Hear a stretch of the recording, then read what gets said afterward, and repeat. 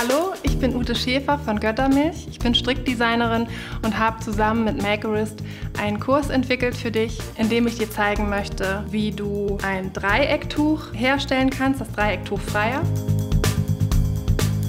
Und wie du einen Kapuzenschal herstellen kannst, den Kapuzenschal Scully.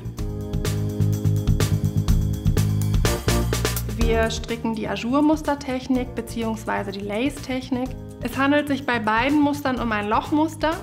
Ajour ist französisch und bedeutet Perforation.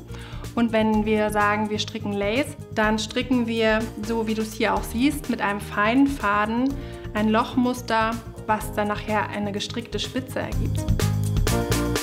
So, und jetzt habe ich dir alles erklärt und jetzt geht es endlich ans Stricken.